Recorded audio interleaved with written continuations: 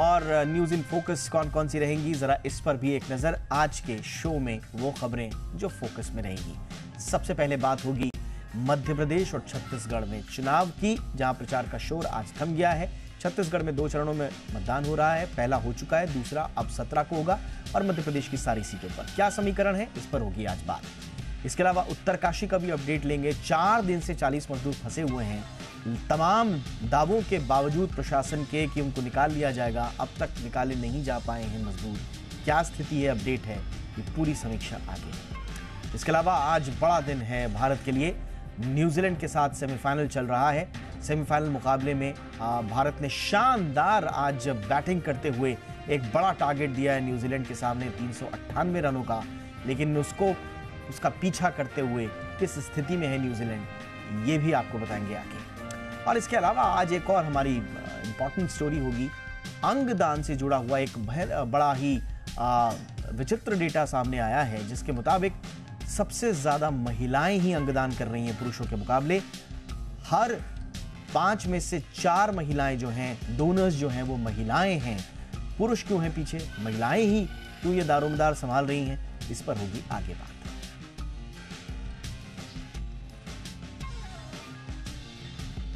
और अब फटाफट अंदाज में देख लेते हैं दिन भर की वो खबरें जो रही सुबह से लेकर शाम तक सुर्खियों में।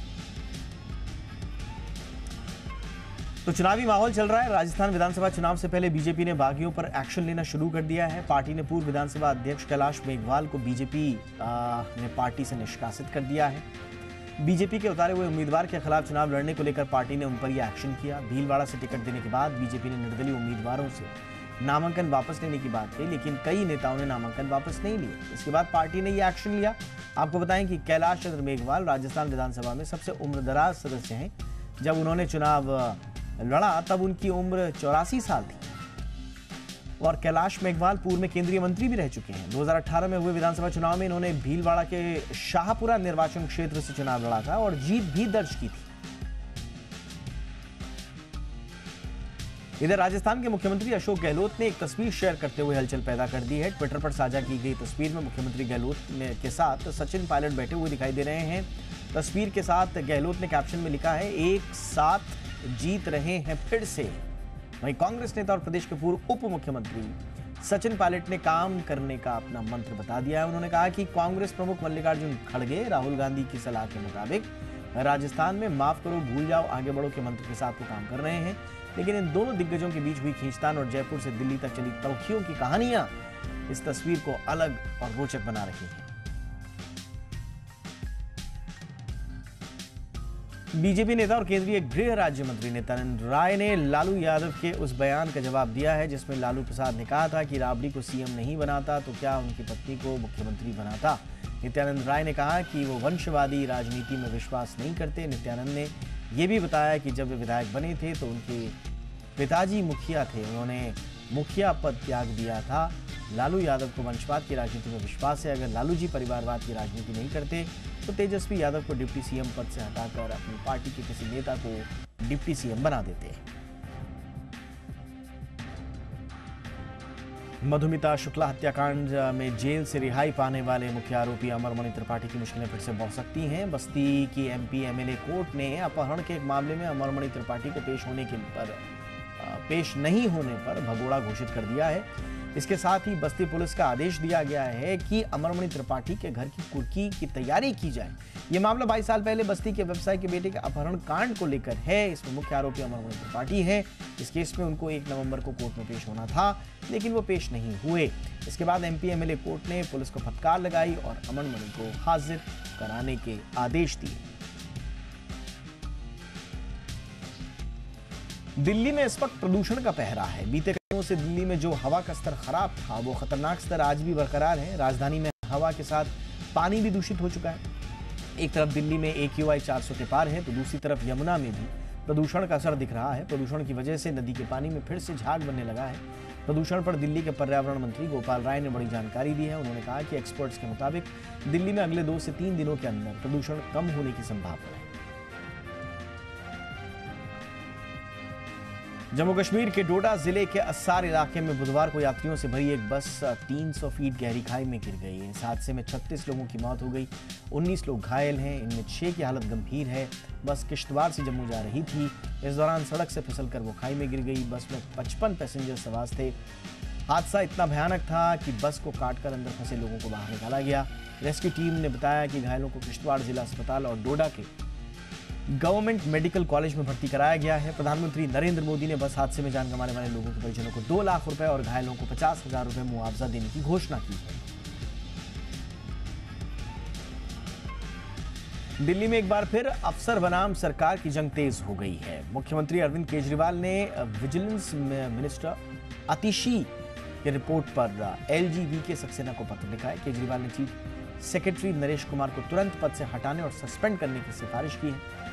सीएम ने मंत्री आतिशी को यह रिपोर्ट, सीबीआई ईडी को भी भेजने को कहा है। रिपोर्ट को रिपोर्ट में बताया गया है कि दिल्ली के चीफ सेक्रेटरी के बेटे की कंपनी को 850 करोड़ रुपए का अनुचित लाभ दिया गया है।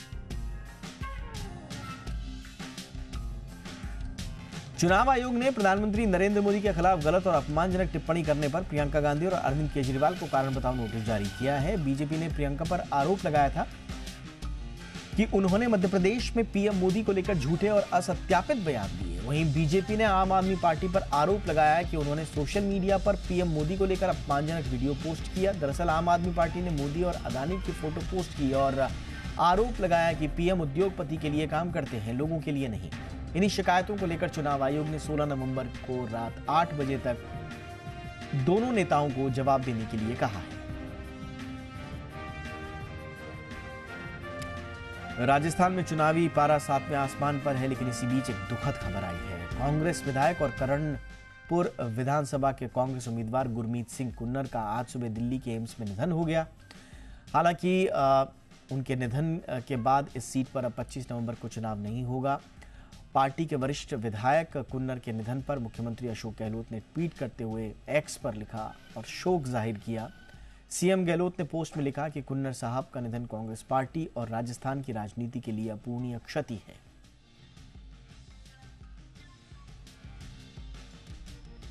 केदारनाथ धाम के कपाट शीतकाल के लिए आज सुबह साढ़े आठ बजे बंद कर दिए गए। विशेष पूजा अर्चना के बाद चली विग्रह डोली।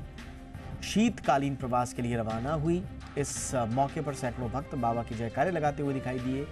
बाबा की चल उत्सव विग्रह डोली, धाम से शीतकाल गद्य स्थल ओंकारेश्वर मंदिर ऊखीमठ के लिए प्रस्थान करते हुए रात्रि प्रवास के लिए पहले पड़ाव रामपुर पहुंचेगी और बाबा 17 नवंबर को ओंकारेश्वर मंदिर में विराजमान हो जाएँगे।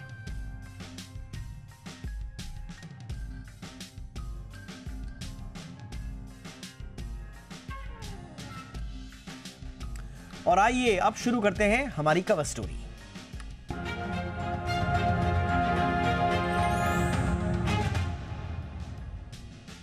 तो पाँच राज्यों में विधानसभा का चुनावी माहौल बना हुआ है। मिजोरम में तो मतदान हो चुका है पूरा। छत्तीसगढ़ में पहले चरण का मतदान पूरा हो गया है। अब दूसरे चरण के लिए चुनावी प्रचार आज थम गया। इधर मध्य प्रदेश विधानसभा की सभी सीटों के लिए चुनावी शोर थम चुका है। दोनों जगह 17 नवंबर को वोट डाले जाएँगे। मध्य प्रदेश की मौजूदा स्थिति की अगर बात करें तो कुल 230 सीटों में बीजेपी के पास 127 सीटें हैं, जबकि कांग्रेस के पास छियानवे सीटें हैं। और वहीं अन्य के पास सात सीटें हैं। छत्तीसगढ़ की बात करें तो कुल नब्बे सीटों में से बीजेपी के पास तेरह सीटें हैं, कांग्रेस के पास इकहत्तर सीटें हैं और अन्य के पास हैं पाँच सीटें। दोनों ही राज्यों में कांग्रेस और बीजेपी के बीच कांटे की टक्कर मानी जा रही है। प्रचार के आखिरी दिन दिग्गजों ने पूरी ताकत झोंकी। दिग्गज नेता अपनी अपनी पार्टियों के लिए जीत का दावा कर रहे हैं। आज समझने की कोशिश करेंगे कि माहौल क्या है, कौन किस मुद्दे पर चुनाव लड़ रहा है और किसका पलड़ा है भारी। बहुत ही खास मेहमान इस वक्त हमारे साथ जुड़ चुके हैं। और दोनों पत्रकारिता के महत्वपूर्ण हस्ताक्षरों में से एक है। हमारे साथ अकुश श्रीवास्तव, वरिष्ठ पत्रकार जुड़ चुके हैं। बहुत बहुत स्वागत है सर आपका हमारे शो पर। और राहुल देव सर भी हमारे साथ जुड़ चुके हैं। वरिष्ठ पत्रकार और टिप्पणीकार हैं। राहुल सर, आपका भी बहुत बहुत स्वागत है।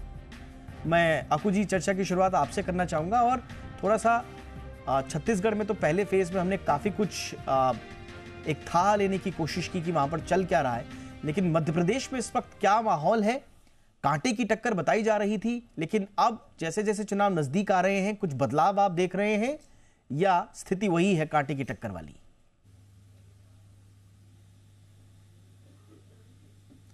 देखिए मध्य प्रदेश की अगर आप बात करें तो सबसे पहले तो मैं ये कहना चाहूँगा कि मध्य प्रदेश में छः महीने के पहले जो स्थिति थी, वो बिल्कुल हवा एक तरीके से शिवराज सिंह के खिलाफ थी, या ऐसा माहौल बना था कि कमलनाथ काफ़ी आगे चल रहे थे। लेकिन धीरे धीरे स्थितियाँ बदली हैं, और अब हालत ये है कि कांटे की टक्कर से थोड़े आगे होने की स्थिति में दोनों ही दल हैं।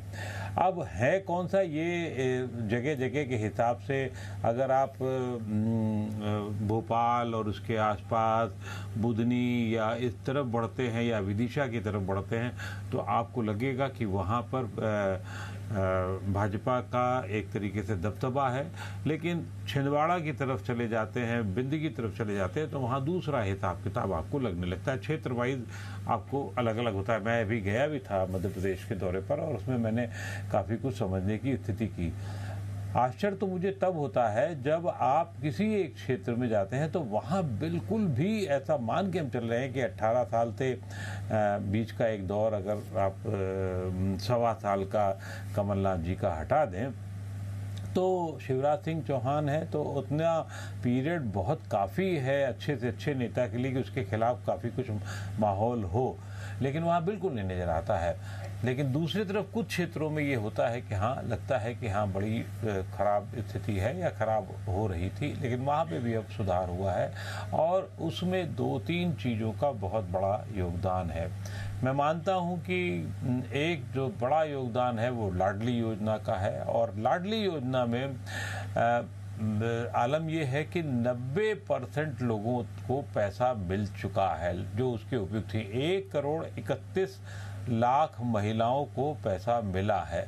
किसी भी गरीब आदमी को, और ख़ास तौर से जिस राज्य में ढाई करोड़ के आसपास महिला मत थोड़ी सी ज़्यादा महिला मतदाताएँ हैं, वहाँ अगर ये पैसा सीधे उनके अकाउंट में पिछले चार पाँच महीने से जा रहा हो तो एक बड़ा इम्पैक्ट करता है। उसका आधार है, उसका आधार ये है कि आप पिछले चुनाव में जब लोकसभा का चुनाव हुआ था तो प्रधानमंत्री नरेंद्र मोदी ने दो हज़ार रुपये देने की प्रक्रिया शुरू कर दी थी और शायद तीन किस्तें ही जा पाई थी दो दो किस्तें जा पाई थी और फिर चुनाव की घोषणा हुई और घोषणा में राहुल गांधी ने बहत्तर हज़ार रुपये साल देने की घोषणा की थी। हम्म, हम्म। लेकिन जब नतीजे निकले तो वो ज़्यादा बड़ी जो डिलीवरी हुई वो ज़्यादा फ़र्क पड़ रहा है हम्म, और उसी तरीके से यहाँ भी माना जा रहा रहा है कि ये डिलीवरी बहुत काम की होगी महिलाओं के लिए। वैसे भी भारतीय जनता पार्टी को मध्य प्रदेश में ठीक ठाक वोट मिलते रहे हैं लेकिन अब वो और पुख्ता है मैं आदिवासियों के इलाके में गया वहाँ मैं मैं तो आऊँगा सर ये आदिवासी इलाकों का जो पूरा बेल्ट है मैं उस पर एनालिसिस आपका ज़रूर लूँगा।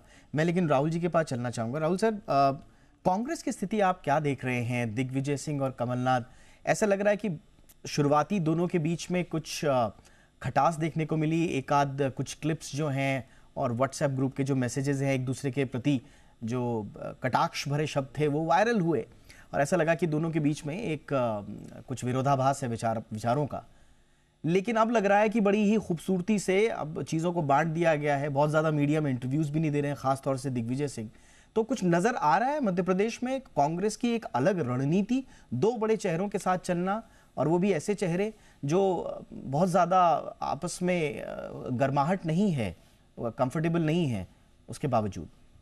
देखिए इसको दो तरह से देख रहे हैं लोग। हम्म। कुछ लोगों को ये लगता है कि ये इन दोनों की दोनों की आपस में समझ बन चुकी है और ये मिली कुश्ती है दोनों मज़ा ले रहे हैं और विपक्ष को भ्रमित कर रहे हैं। उसको इस शायद मुगालते में रखना चाहते हैं कि ये कमज़ोर हैं बटे हुए हैं और इसका शायद वो फ़ायदा उठाना चाहते हो। या ये हो सकता है कि दोनों में सचमुच खटास हो आपसे रिश्तों में जो पुरानी रही है उसका एक इतिहास है लेकिन इतना तो तय है कि जहाँ तक चुनाव का संबंध है चुनाव अभियान का संबंध है और उसके प्रबंध का संबंध है दोनों आ, कोई कमी नहीं रख रहे हैं दोनों अपनी पूरी ताकत लगा रहे हैं ये तो दिख रहा है हम्म। तो ये जो तथाकथित मतभेद हैं दोनों के वो देखने वालों की निगाह में मुझे ज़्यादा लगते हैं ज़मीन पर कम लगते हैं हम्म।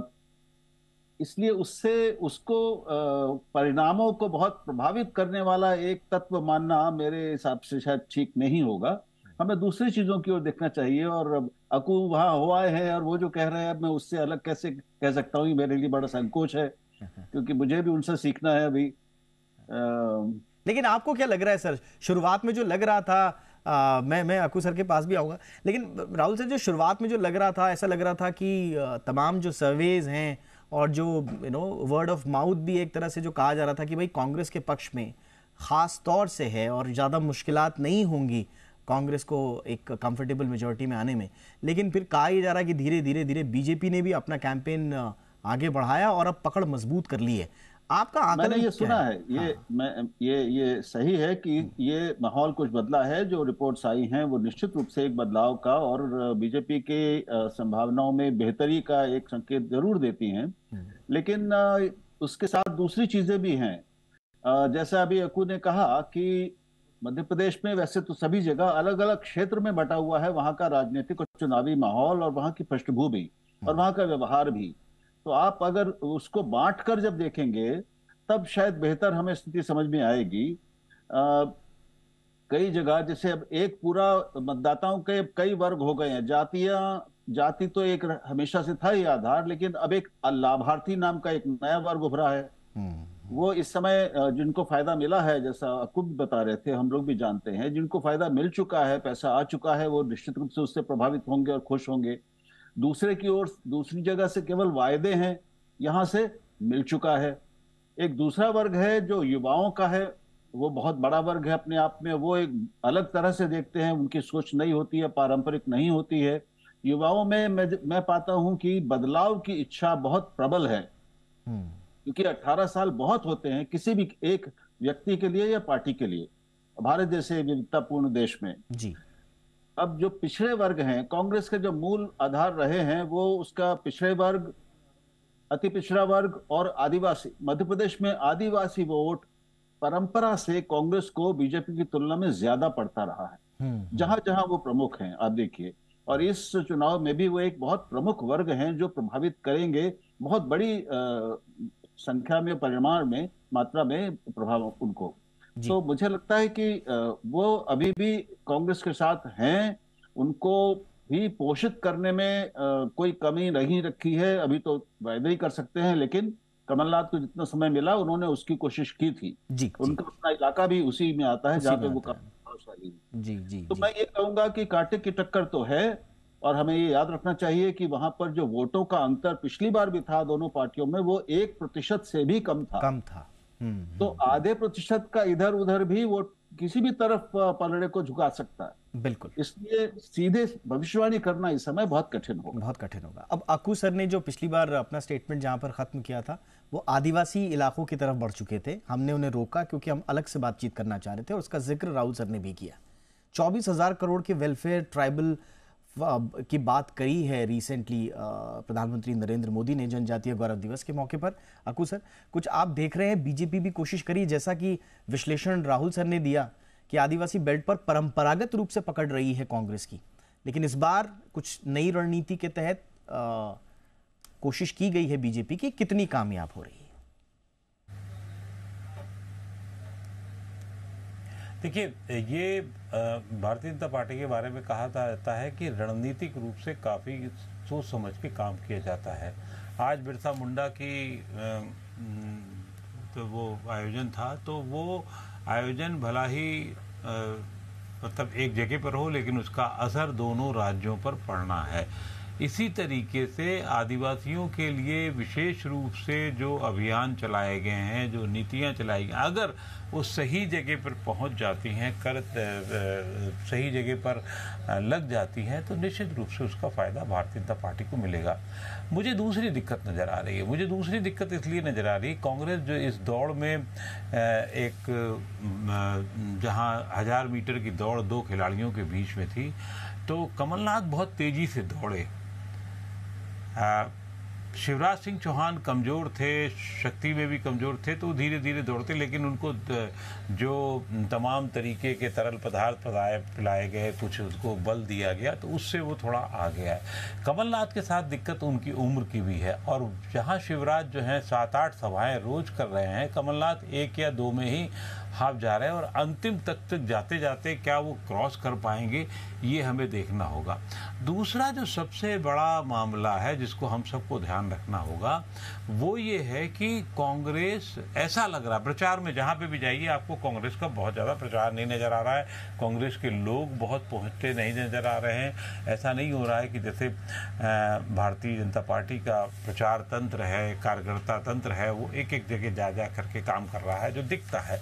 लेकिन उनका नहीं दिखता। या तो फिर ये है कि वो अति आत्मविश्वासी हो गए हैं और एंटी जो वोट एस्टेब्लिशमेंट के पढ़ने हैं वो उस पर आधारित हो गए हैं। वो उन्हें सोचना हो, सोच रहे होंगे कि अब अठारह साल का बहुत बड़ी हवा चल रही है, उसकी उस पर आधारित ज़्यादा या तो ये है।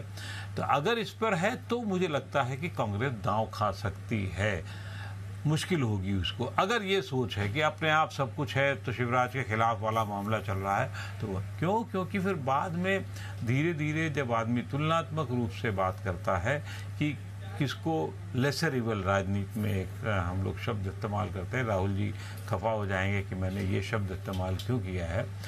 हिंदी में मुझे करना चाहिए था, लेकिन जो कम्युनिकेशन में, जो संवाद की शैली में है, उसमें ये मुझे ज़्यादा उपयुक्त लगता है। और अब एक लड़ाई मध्य प्रदेश में लड़ाई जो है वो कम झिलाऊ आदमी कौन है? किसको कम मतलब जिसको ज़्यादा झेला किस तरीके से जा सकता है? ये उसकी एक लड़ाई है। और उसमें कौन आगे निकलता है? कैसे निकलता है? रणनीतिक रूप से कौन आगे जा पाता है? मुझे उसी में थोड़ा सा लेकर के संदेह है, और उसी को लेकर के मैं थोड़ा हैरान परेशान होता हूँ कि कांग्रेस एक जीती हुई बाजी कैसे इतने ढीलेपन पे छोड़ सकती है। भारतीय जनता पार्टी ठीक है बहुत पीछे थी। छह महीने पहले मैं खुद कह रहा हूँ बहुत पीछे थी। हम्म। जब मैं पहले भी गया हूँ तब मुझे लगा था ये ऐसी स्थिति थी। लेकिन अब ऐसी स्थिति क्यों नज़र आ रही है कि इसमें वो पीछे नहीं है? उसके, उसको इतने सारे शिवराज सिंह चौहान नाम के जिनको इतने सारे विटामिन, इतने सारे पेय पदार्थ पढ़ा करके, फिर वो ज़्यादा तेज़ी से दौड़ाया जा रहा है और उनकी पार्टी को दौड़ाया जा रहा है। वहाँ पर जो रणनीति सांसदों को और केंद्रीय नेतृत्व के नेताओं को लगा करके लगाई गई, वो भी थोड़ी बहुत फलीभूत नज़र आ रही है एक आध जगह को छोड़ करके जहाँ वो खुद नेता हारते हुए प्रतीत नज़र आ रहे हैं। लेकिन उनकी वजह से क्या हो रहा है कि आसपास की चार पाँच छह सीटें अगर फ़ायदे में आ जाती हैं तो वही फ़ायदा बीस एक सीटों का हो जाता है। जहाँ तक इन दोनों की नेताओं की केंद्रीय कांग्रेस के केंद्रीय नेताओं की आपस में मनमुटाव की बात है हाँ, तो वो ये तय है कि अब दिग्विजय सिंह नेपथ्य में चले गए हैं। उनका कोई बहुत असर नहीं जो कुछ करना है वो सिर्फ़ कमलनाथ को करना है। टिकट बंटवा बांटने को ज़रूर लेकर के दिग्विजय सिंह नहीं लेकिन लेकिन मानी गई है मैं मैं संक्षेप में आपसे थोड़ा समझना चाहूँगा क्योंकि शुरुआत में आपने अपने उद्बोधन में कहा कि कमलनाथ की उम्र जो है वो हावी हो रही है और उनका वो कितना आगे वो इतना एनर्जी के साथ काम कर पाएँगे ये संदेहास्पद है। और दूसरी तरफ़ आप कह रहे हैं कि दिग्विजय नेपथ्य में चले गए हैं तो फिर क्या कांग्रेस के पास स्थिति क्या बची फिर? यही तो मैं कह रहा हूँ ना दिग्विजय को बहुत आ, मतलब एक तरीके से दिग्विजय की उम्र के अलावा दिग्विजय एक अपने रणनीतिक रूप में दूसरे उनकी विशेषताएँ हैं। कमलनाथ मैनेजमेंट बहुत अच्छा करते हैं। हम्म। कमलनाथ जो चुनाव लड़ने के लिए व्यवस्थाओं की ज़रूरत होती है उसके वो विशेषज्ञ माने जाते हैं और ये उन्होंने करके दिखाया। आज से छः महीने पहले अगर पार्टी इस हालत में थी कि वो बहुत आगे तक थी तो उसके पीछे कारण थे। तो वो कारण मैंने आपको बताया।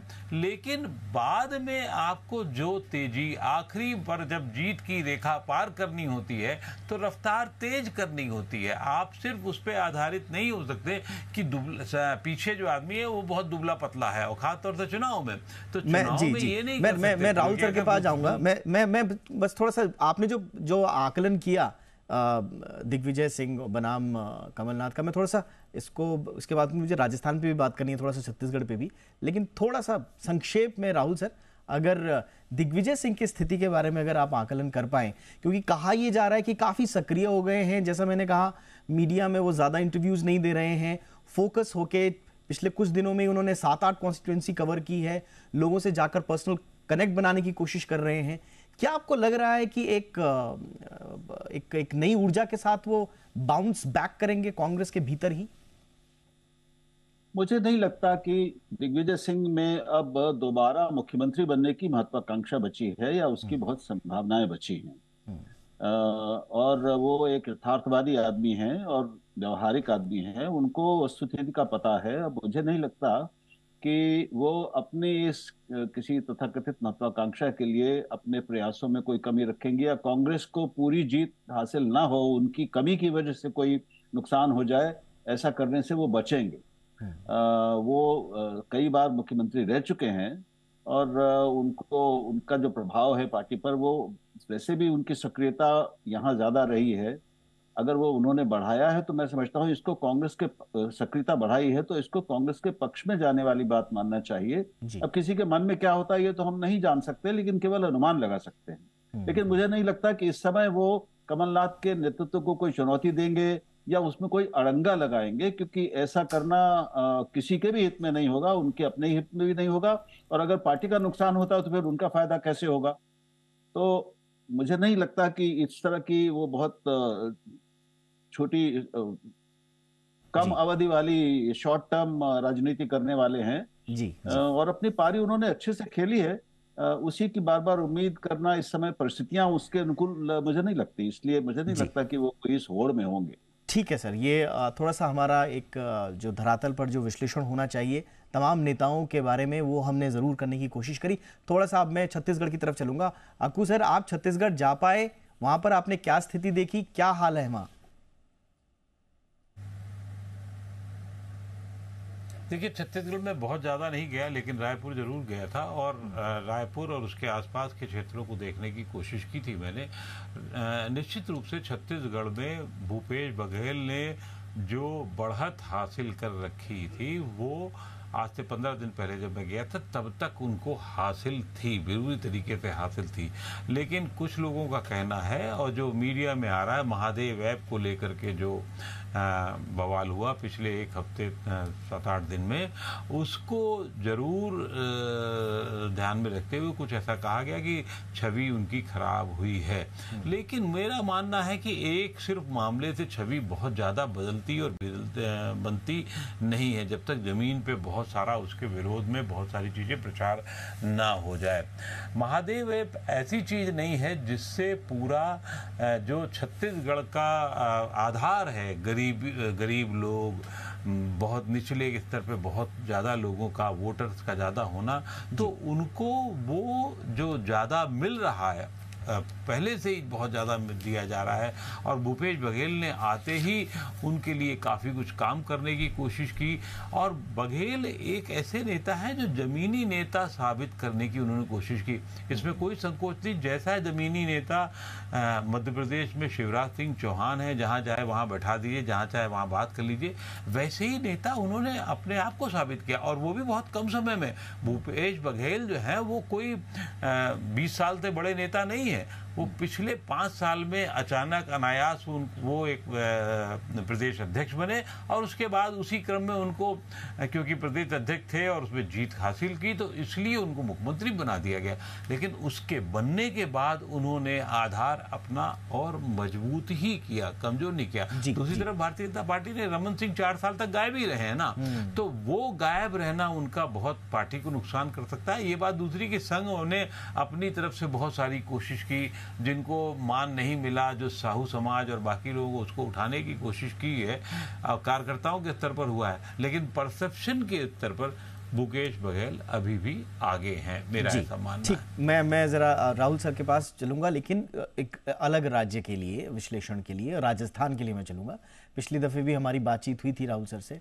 राहुल सर अभी आपको क्या नज़र आ रहा है राजस्थान में? आज ही अ, बड़ी सुर्खियों के साथ खबर वहाँ पर आई कि सचिन पायलट और गहलोत जो हैं, उनमें एक बार फिर से गलबैयां नज़र आ रही हैं। एक साथ सब कुछ भुलाकर आगे बढ़ते हुए नज़र आ रहे हैं। एक बड़ा क्लासिक एग्ज़ाम्पल है कांग्रेस का राजस्थान कि वहाँ पर इतनी तलखी और इतनी खुले रूप से तलखियाँ दोनों नेताओं के बीच में। लेकिन उसके बावजूद बड़ी ही प्रमाणिकता के साथ दोनों ने अच्छे से मैनेज किया एक दूसरे का साथ। आपको लग रहा है ये काम कर पाएगा इस बार कांग्रेस के लिए, सर? या ये गड़बड़ कर कर देगा? देखिए राजस्थान में भी स्थिति मध्य प्रदेश जैसी है। अगर दोनों पार्टियों की सापेक्ष शक्ति और वोट शेयर के बारे में बात करें तो वहाँ भी अंतर बहुत कम है। पिछली बार भी और कई बार से कम रहा है और वहाँ परंपरा भी ये है हर बार वहाँ पे सरकार बदलती है। तो इस बार सर, सरकार बनाने की बारी उस इतिहास के राजस्थान के इतिहास के अनुसार कांग्रेस की बीजेपी की है। तो अब समस्याएँ इस तरह की, जो आपने बताया कि पायलट और गहलोत की जो समस्या थी, टकराव था, वैसी, वैसा ही टकराव थोड़े और ज़्यादा लोग जिसमें शामिल थे, वो बीजेपी में भी दिखता था। हम जानते हैं कि क्या स्थिति थी। बीजेपी हाईकमान और वसुंधरा राजे में एक तरह से ठनी हुई थी। दोनों एक दूसरे को पसंद नहीं करते, लेकिन वहाँ पे वसुंधरा राजे के बिना काम नहीं चला। अंत तक एक सस्पेंस बना रहा, फिर उनको लिया गया, उनके लोगों को भी लिया गया। तो आंतरिक समस्याएँ सब जगह हैं। और राजस्थान में तो दोनों में लगभग बराबर की है। हम्म। खुले विद्रोह भी हुए वहाँ पर और दोनों जगह हुए। तो दूसरी बात यह कि मेरी समझ ये है कि पिछले दिनों वहाँ पर बीजेपी ने अपने प्रयास और तेज किए हैं। हम जानते हैं कि प्रधानमंत्री की अपना एक प्रभाव जो होता है हर चुनाव में उसका एक उनके अभियान का उनकी सभाओं का एक असर पड़ता है। उनके रोड शोज़ का एक असर पड़ता है। वो हम्म। कितना पड़ता है इस पर विवाद हो सकता है बहस हो सकती है लेकिन वो निश्चित रूप से पड़ता है एक माहौल बनाने में वो एक बहुत कारगर नेता सिद्ध होते हैं हालाँकि पिछले विधानसभा चुनाव में हम देख चुके हैं कि दो बड़े चुनावों में वो उनका जादू नहीं चला हम्म। इस बार चलेगा कि नहीं हम नहीं जानते लेकिन एक दो प्रतिशत से लेकर तीन चार प्रतिशत तक वो वोटों को प्रभावित कर सकते हैं जहाँ जहाँ वो जाते हैं तो इसको भी मैं अगर सब शामिल करके कुल स्थिति को देखूँ तो बीजेपी के पक्ष में पलड़ा थोड़ा ज़्यादा भारी। जी। मैं अब दोनों से, आप दोनों से जाते जाते बस एक छोटा सा आकलन विपक्ष के नज़रिए से ज़रूर करना चाहूँगा, क्योंकि बीजेपी हम देख रहे हैं कि प्रचार तंत्र में एक अच्छी रणनीति के साथ उतरती है और उसका फ़ायदा बीजेपी को मिलता भी है। लेकिन विपक्ष जो है, वो हमेशा बटा हुआ नज़र आता है, थोड़ा जो रिसोर्सेज हैं, उसकी भी कमी नज़र आती है। राहुल गांधी इस वक्त, क्योंकि सबसे बड़े चेहरे यही माने जा रहे हैं। अकू सर, मैं आपसे शुरू करूँगा, बड़े संक्षेप में। कहीं कोई उनकी व्यक्तिगत छवि में, उनकी सक्रियता में, या उनका जो व्यक्तिगत रूप से राजनीतिक जो कद है, उसमें कोई उछाल या उसमें कोई घटाव आप देख रहे हैं इन इन चुनावों में? देखिए निश्चित रूप से राहुल गांधी की छवि थोड़ी उजली हुई है अच्छी हुई है लेकिन दिक्कत कहीं और है दिक्कत प्लानिंग में है। हम्म। एक आदमी हफ़्ते भर जा करके लद्दाख में रहने लगता है तो क्या फ़ायदा होगा? एक सीट लद्दाख की है और वो भी कब जब चुनाव होगा केंद्र का तब। एक आदमी अचानक जो है उस उसकी प्राथमिकताओं में कितना मध्य प्रदेश है कितना राजस्थान है कितना छत्तीसगढ़? छत्तीसगढ़ तो नज़र आता है लेकिन राजस्थान और मध्य प्रदेश उतना नज़र नहीं आता। पता नहीं क्यों? जबकि मध्य प्रदेश के बारे में कहा जाता था कि वो बहुत अच्छी स्थिति में चल रहे थे। आ, वो प्राथमिकताओं का निर्धारण जो है वो बहुत मुश्किल हो रहा है। और जो खबरें आती हैं जयपुर से जो खबरें आती हैं भोपाल थे वो कई बार थोड़ा सा सोचने पे विवश करते लेकिन क्योंकि भाई वो हम हमसे तो अकलमंद है ही ज़्यादा। हम अपने तरीके से सोच रहे हैं। नेता हमेशा अपनी अकलमंदी से काम करता है। वो हमारे कहने थे कि वो उतने ऊर्जावान नहीं है जैसे प्रधानमंत्री दौरे करते हैं। तो ये उनका मामला है। उन्होंने सोच रखा होगा कि किस तरीके की रणनीति है। उन्होंने अपनी ऊर्जा इस समय तेलंगाना में ज़्यादा लगा रखी है और वो शायद हो सकता है। उनको फलीभूत भी हो जाए। कितनी होती है किस हद तक होती है बाधा रेखा से पार पड़ा पाती है नहीं करा पाती सवाल है। लेकिन प्रधान जैसे भारतीय जनता पार्टी ने है तो वो फोकस्ड राज्यों में रखी है और जहाँ उनको संभावनाएँ ज़्यादा रखी हैं वहाँ पर भी और दूसरी जगह दिखाने के लिए भी ज़्यादा है लेकिन तेलंगाना में उतना ज़्यादा उन्होंने नहीं अपने आप को फोकस किया जी जी। जी राहुल सर आ, मैं इसलिए कह रहा हूँ क्योंकि थोड़ा सा आ, राहुल गांधी उन नेताओं में से हैं जिनके बारे में विश्लेषण जो है वो बड़ा जहाँ पर भी आप जाएँगे तो एक उसमें एक एक बायस नज़र आता है। अगर आप दक्षिणपंथी लोगों से मिलेंगे तो वो कहेंगे कि राहुल गांधी एकदम निष्क्रिय हैं, वो कुछ नहीं है, उनकी कोई राजनीतिक रूप से कोई हैसियत भी नहीं। और यदि आप थोड़ा सा उदारवादी लोगों से मिलेंगे तो वो कहेंगे कि नहीं साहब, राहुल गांधी में तो संभावनाएँ कूट कूट कर भरी हुई हैं। एक स्वतंत्र टिप्पणीकार होने के नाते आप राहुल गांधी की इन राज्यों में स्थिति क्या आंकते हैं? वो किस किस रूप किस तरफ़ जा रहे हैं उनका कद छवि सक्रियता बढ़ रही है या वो ठहराव है या वो नकारात्मक हो रही है देखिए भारत जोड़ो यात्रा के बाद राहुल गांधी की छवि में जो एक गुणात्मक बदलाव और उछाल आया था हम्म। उसमें आगे वो नहीं बढ़े हैं ऐसा मुझे लगता है हम्म। उन्होंने उस अपने उसको सस्टेन करने की कोई बहुत मेहनत की हो ऐसा नहीं दिखता आप, अभी हम लोग ऊर्जा की बात कर रहे थे तो ये बात, पहली बात ये है कि भाई उनकी प्रधानमंत्री से तुलना करनी ही पड़ती है सबको, क्योंकि बीच में और कोई है नहीं जिससे दोनों व्यक्तियों की तुलना की जा सके। और वहाँ पर बड़ी वो एक असमान तुलना हो जाती है। लेकिन जहाँ तक ऊर्जा की, जहाँ दृश्यता यानी विजिबिलिटी का प्रश्न है, उसमें एक तो उनकी ओर से अपनी उतनी उत्कटता नहीं दिखती उनकी कोशिशों में, प्रयासों में। वो एक अलग लय पर चलते हैं, अलग लय पर अपना उनका अभियान चलता है। उसमें अभी जैसे उल्लेख किया, आपने किया या अकू ने किया कि वो एक हफ़्ते के लिए लद्दाख चले गए। तो ये वरीताओं का भी प्रश्न है। मुझे लगता है कि उन्होंने सोच समझ के ये समझ लिया है कि वो कोई चुनावी, चुनाव जिताने वाले व्यक्ति या नेता नहीं है। उनका काम थोड़ा सा ज़्यादा एक एक उच्च स्तर पर वैचारिक नेतृत्व, लोगों को जोड़ना अलग अलग नए वर्गों को कांग्रेस से जोड़ना, युवाओं को जोड़ना, इस पर वो ज़्यादा ध्यान कर रहे हैं। चुनावी रणनीति, चुनावी प्रबंधन, राज्यों के नेताओं से बातचीत और उनको आपस में उनमें एक समन्वय बना रहे, इसके लिए उन्होंने कांग्रेस अध्यक्ष जिनको बनाया है, उनको उनके ऊपर काफ़ी वो छोड़ा हुआ है। और वो नेपथ्य में रहकर अपना वो काम शांति से करते हैं उनके बारे में ज़्यादा चर्चा हमें नहीं दिखती। जी। एक जी. बात ये भी है कि इस समय जो हमारा मास मीडिया है हम्म, हम्म। टीवी विशेष तौर पर उसमें हम सबको कारण मालूम है लेकिन वो राहुल गांधी पर उतना ध्यान नहीं देता उनको उतना दिखाता नहीं है उनके कार्यक्रमों और उनकी यात्राओं और शोभा यात्राओं वगैरह को भी उस तरह से नहीं दिखाता हम्म, जितना वो प्रधानमंत्री को या बीजेपी के नेताओं को दिखाता है। ये बिल्कुल साफ़ दिखने वाली बात है। तो आम लोगों को जो लोग टीवी भी देखते हैं और उससे कुछ हद तक प्रभावित होते हैं माहौल कैसा है ये समझते हैं राय बनाते हैं हम्म। उनको वहाँ पर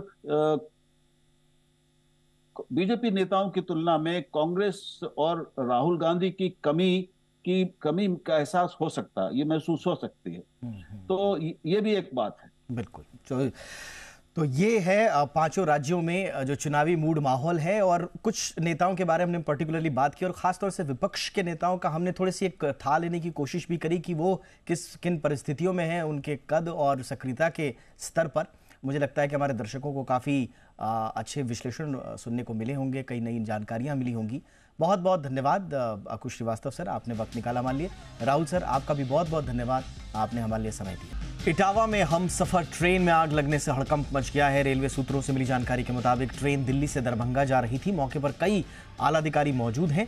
छठ की वजह से ट्रेन में भारी भीड़ थी। इस पूरे घटनाक्रम को लेकर उत्तर उत्तर मध्य रेलवे के जनसंपर्क अधिकारी ने कहा कि मौके पर राहत और बचाव का काम लगातार जारी है।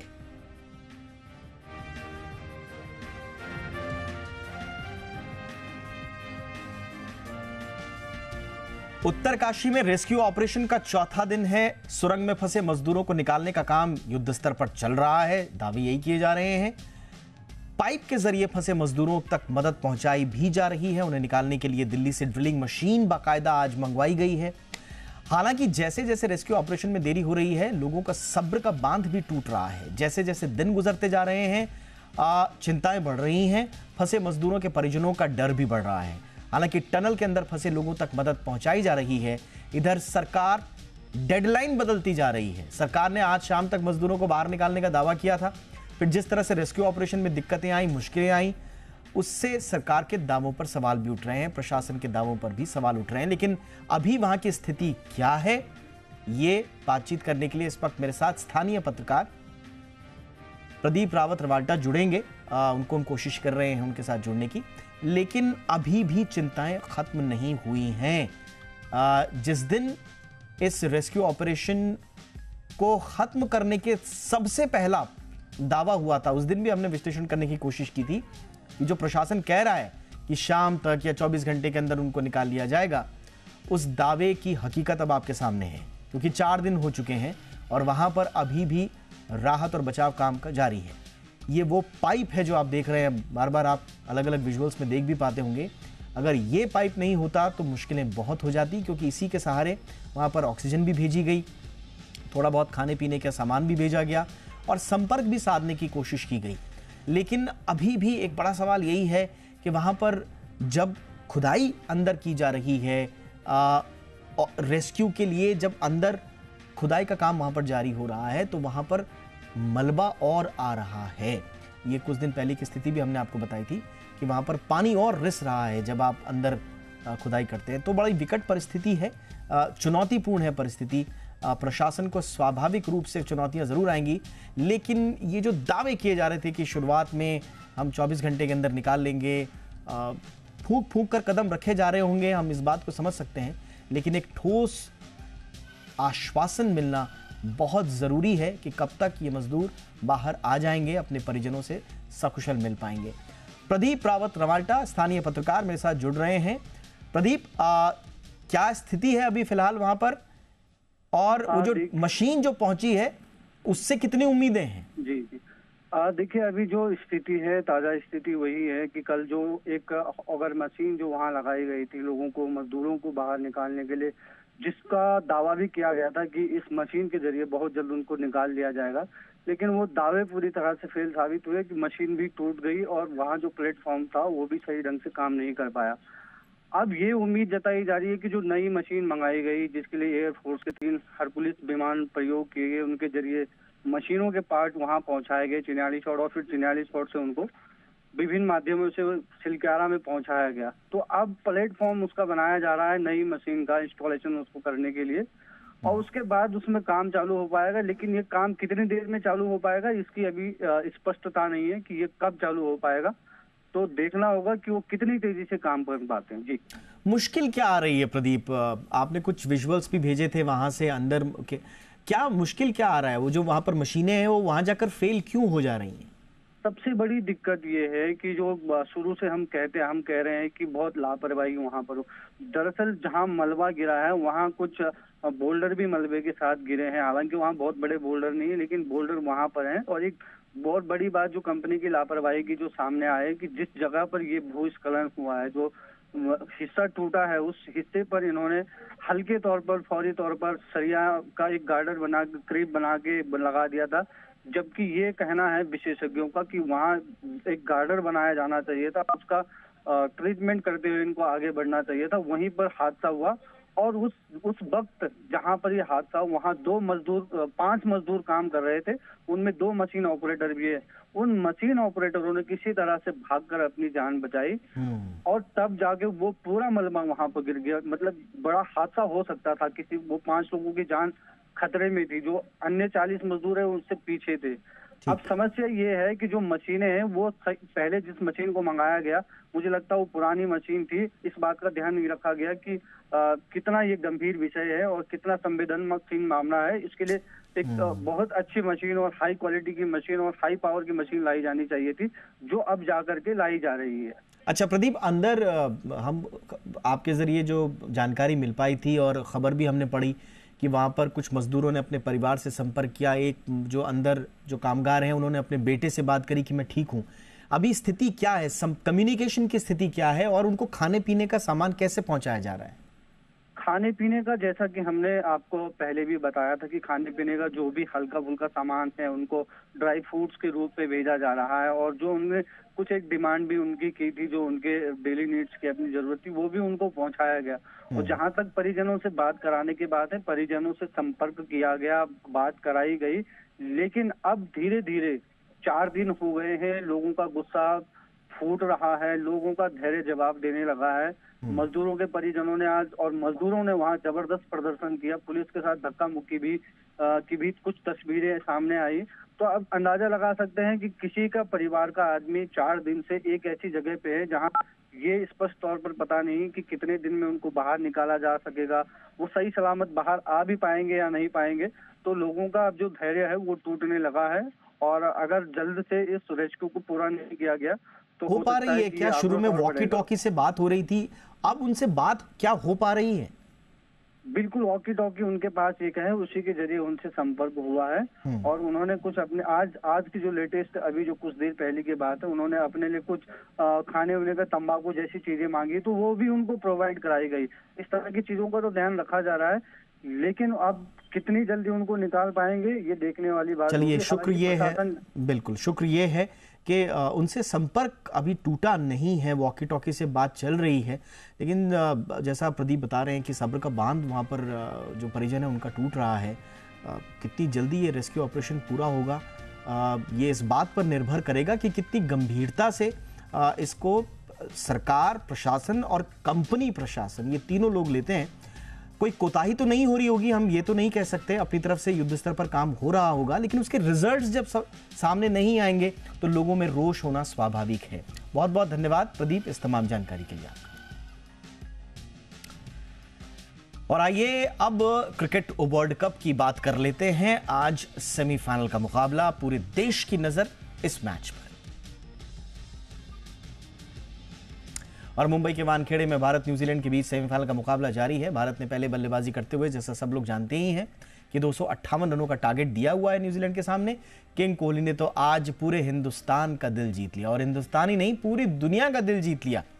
क्रिकेट के भगवान कहे जाने वाले सचिन तेंदुलकर से वो आगे निकल गए। न्यूजीलैंड के खिलाफ वर्ल्ड कप सेमीफाइनल मैच में टीम इंडिया के साथ बल्लेबाज ने पचासवां शतक ठोक दिया और ऐसा करने वाले वो दुनिया के पहले बल्लेबाज बन गए हैं। विराट कोहली ने न्यूजीलैंड के खिलाफ ये पचासवां वनडे शतक जड़कर वर्ल्ड रिकॉर्ड बना दिया है और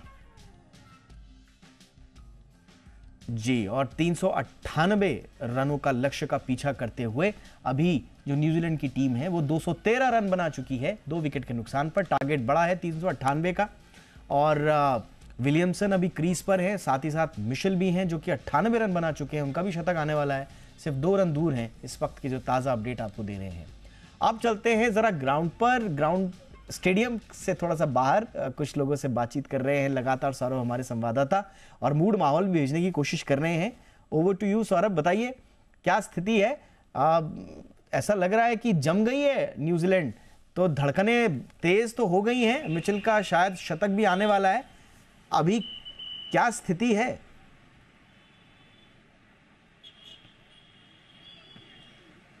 जी बिल्कुल, जिस तरह से स्थिति स्टेडियम के अंदर है, उसी तरह की जो स्थिति है, वो स्टेडियम के बाहर हम देख पा रहे हैं। हमारे साथ यहाँ कुछ फैंस जुड़े हुए हैं। आइए फैंस से समझते हैं कि मौजूदा स्थिति को देखते हुए उनका क्या कहना है? अगर बात की जाए मिशेल जो है अपनी शतक पूरी करने को है, कैसे आप देख रहे हैं पूरे इनिंग को?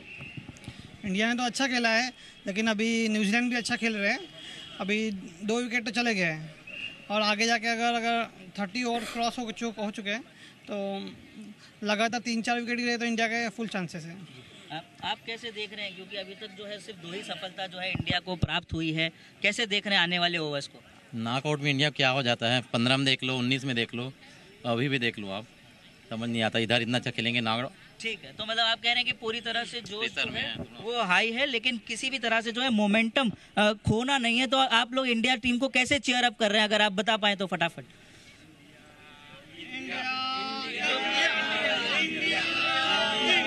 तो दीपक हम देख रहे हैं यहाँ पर विजुअल्स के माध्यम से कि जिस तरह से जो है अभी बैटिंग सौरभ हो सात न्यूजीलैंड हाँ, सात बजे सात बजे जब आप लाइव जुड़े थे हमारे साथ जोश बिल्कुल अलग लेवल पर था लोगों का। अभी थोड़ा सा ठंडा पड़ गया है क्योंकि जो टीम है न्यूजीलैंड की वो थोड़ा सा जम गई है। अच्छे धैर्य के साथ खेल रहे हैं। दो विकेट के बाद अभी तक कोई विकेट आया नहीं है। स्वाभाविक रूप से मायूसी थोड़ा सा दिख ज़रूर रही है लेकिन उम्मीदें अभी भी बाकी हैं। उम्मीद क्या कर रहे हैं? किसी जिस जिस जिस रफ्तार में सौरभ जरा पूछिए लोगों से कि जिस रफ्तार में भी चल रहे हैं आ, लग रहा है कि आगे कुछ एक ऐसा मोमेंट भी आए कि वापस मैच भारत की पकड़ में आ जाए? जी बिल्कुल बिल्कुल। अगर बात की जाए चमत्कार की तो क्रिकेट का ये जो खेल है यहाँ पर प्रिडिक्शन फेल माना जाता है। तो क्या आने वाले ओवरों में आप लोग जो है किसी तरह का चमत्कार बिलीव कर रहे हैं क्या? डेफिनेटली सर डेफिनेटली हमें इस पर पूरा ट्रस्ट है क्योंकि बहुत सारे मैचेस में हमने इंडिया को देखा है ऐसे मिराकल करते हुए। और हम पूरे होप के साथ आए कि India will be win today आप कैसे देख रहे हैं? कितना चमत्कार जो है इस बार आप देख पा रहे हैं आने वाले ओवरों में? देखिए मेरा तो यही कहना है ना कि पहला अपने लोग यहाँ पे न्यूजीलैंड को हराएँगे 2019 का बदला लेंगे। और उसके बाद हम मैं चाहता हूँ और हम सारे भारतीय मालूम में क्या चाहते हैं? कि ऑस्ट्रेलिया फाइनल में भिड़े ताकि हम लोग 2003 का बदला फाइनल में हराएँ। और भारत माता ये हम यहाँ पर जो है दर्शकों से जो स्पेक्टेटर्स है उनसे उम्मीद बात कर रहे हैं। जैसे ही उम्मीद जगी वैसे ही जोश भी जग गया और सारे बदले लेने के लिए तैयार है। 2019 का बदला और उससे पहले ऑस्ट्रेलिया से 2003 का बदला। दिखाना चाहेंगे विजुअल्स के माध्यम से।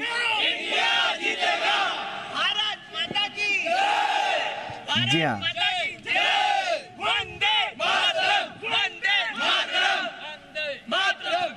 तो चलिए बहुत बहुत शुक्रिया। बहुत बहुत शुक्रिया। बहुत बहुत शुक्रिया आपका सौरभ और आपके ज़रिए जो दर्शक हमारे साथ जुड़े उनका भी बहुत बहुत शुक्रिया। कैसे मायूसी जोश में तब्दील होती है जब हल्की सी उम्मीद की किरण नज़र आती है? चमत्कार शब्द तो बड़ा है चमत्कार नहीं स्वाभाविक खेल भी अगर खेले इंडिया अपना नेचुरल गेम भी खेले तो भी जीत दूर नहीं है, लेकिन रोकना होगा हर हाल में न्यूजीलैंड के बल्लेबाजों को। आगे बढ़ते हैं। बजाज फाइनेंस पर आरबीआई ने बड़ी कार्रवाई की है। बजाज फाइनेंस पर डिजिटल लैंडिंग गाइडलाइंस के उल्लंघन पर कार्रवाई हुई है। क्या है ये पूरी खबर? एकता सूरी बताएँगी। आरबीआई ने जो है एक बहुत बड़ी कार्रवाई की है बजाज फाइनेंस लिमिटेड पर और यहाँ पर बोला गया है कि लोन बांटने पर जो है वो रोक लगाई गई है। यहाँ जो बजाज फाइनेंस लिमिटेड के दो लेंडिंग प्रोडक्ट्स है ई कॉम और इंस्टा ईएमआई कार्ड उस पर रोक लगाई गई है क्योंकि आरबीआई की डिजिटल लेंडिंग गाइडलाइन जो है उसका उल्लंघन किया गया है। इन गाइडलाइंस में साफ़ कहा गया है कि डिजिटल लेंडर को की फैक्ट स्टेटमेंट्स जो है वो जिसने लोन दिया है लिया है उसको देनी पड़ेंगी। इन की फैक्ट स्टेटमेंट्स में अ, अ, कुछ ट्रांसपेरेंसी नहीं दिखाई गई अ, कुछ जो गाइडलाइंस में स्टेट किया गया था वो नहीं डाला गया जिस वजह से आरबीआई ने बजाज फाइनेंस लिमिटेड पर लोन देने से रोक लगाई है। आसान भाषा में अगर हम समझें तो की फैक्ट स्टेटमेंट्स मतलब ये कि जब आप लोन लेने जाते हैं तो जो लेंडर है वो आपको एक डॉक्यूमेंट देगा जिसमें जो भी टर्म्स एंड कंडीशन हैं वो ट्रांसपेरेंट होंगे। लेकिन यहाँ पर बजाज फाइनेंस लिमिटेड जो लोन बांट रहा था खास करके अपने दो लेंडिंग प्लेटफॉर्म्स ई कॉम और इंस्टा ईएमआई कार्ड के ज़रिए, इन दो प्रोडक्ट्स के ज़रिए जो लोन डिस्पर्सल हो रहा था, उसके की फैक्ट स्टेटमेंट्स में जो है वो गड़बड़ी पाई गई, जिस वजह से आरबीआई ने ये बड़ी कार्रवाई की है बजाज फाइनेंस लिमिटेड पर। जी। तो चलिए, इस बीच न्यूजीलैंड का एक और विकेट जा चुका है। तीन विकेट हो गए हैं और मिशेल का इस बीच में शतक भी आ चुका है। तो दो तरह की खबरें आ रही हैं। मैच बड़ा दिलचस्प है। आप भी देख रहे होंगे, हम भी अपडेट आपको आगे देते रहेंगे। फ़िलहाल इजाज़त दीजिए। नमस्कार।